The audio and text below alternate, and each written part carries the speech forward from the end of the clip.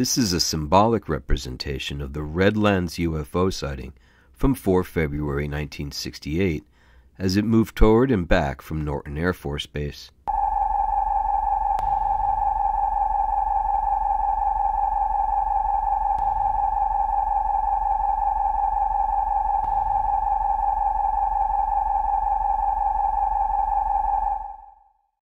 Martyred ufologist Dr. James E. McDonald addressed this event with Carl Sagan in his 1969 presentation, Science in Default.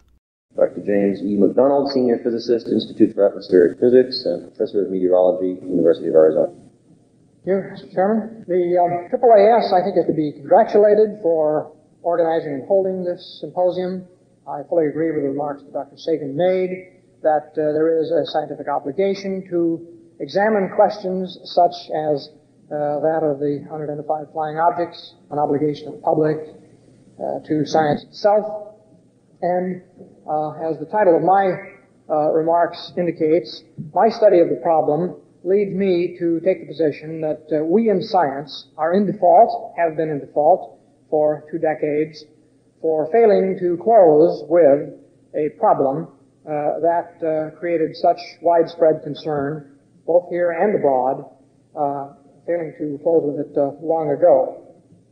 Once again, it is not a thoroughgoing and adequate investigation of the UFO problem. The conclusions that Dr. Condon uh, reached in his summary analysis that the problem doesn't worth, uh, merit further scientific uh, study, uh, I think is not at all supported by the contents of the report, as the previous speaker, I believe, also suggested.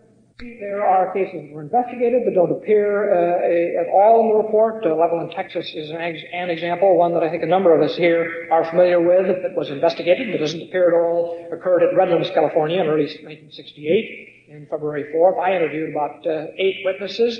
Uh, professors at the University of Redlands interviewed about 25. This was a case of a, uh, a large number of people uh, hearing unusual sounds, getting out in the street, uh, looking up and uh, from a variety of directions that, uh, crudely speaking, triangulated moderately well, uh, uh, indicated an object at about a thousand feet elevation. Ultimately, earlier it was about 300 feet, uh, estimated to be about 50 or 60 feet in diameter. when most of the people were out looking at it, and all that I interviewed were watching it, it was making no sound, hovering motionless.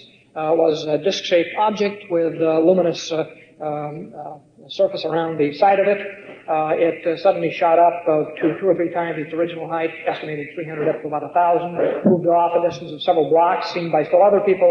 Uh, this case, uh, finally uh, moved off. This case was explained to the Air Force as a small aircraft.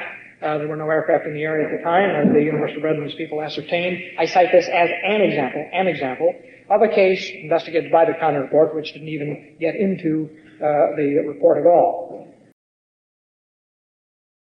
Other inspired human minds helped to scatter breadcrumbs of the Redlands UFO into Earth's cultural literacy for the February 4th anniversary in 1985. We take you now to Kermit the Frog with another fast breaking news story. Oh, Oh, hi ho, this is Kermit the Frog, and I'm speaking to you from Old MacDonald's farm. It's made famous by that rhyme, Old MacDonald had a farm, E-I-E-I-O, and on that farm he had some... Uh, Spaceship.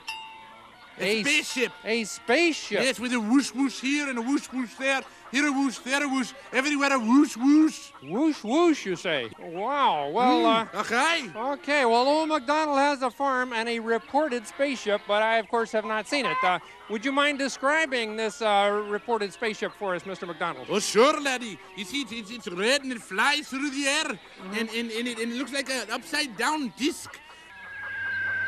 What? What? Oh, no. Look at that. Oh. yep,